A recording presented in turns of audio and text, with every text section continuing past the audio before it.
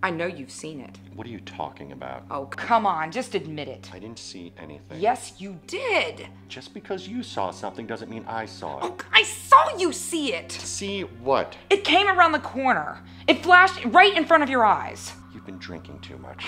I could say the same about you. Well, with you around, I have to drink. Oh, don't give me that. I told you I felt something. I didn't see something. See, something. you felt it. No, felt and see are two different things. Loraine. It was right there, Wilbur. Why don't you just admit it? There's nothing to admit. Oh, yeah?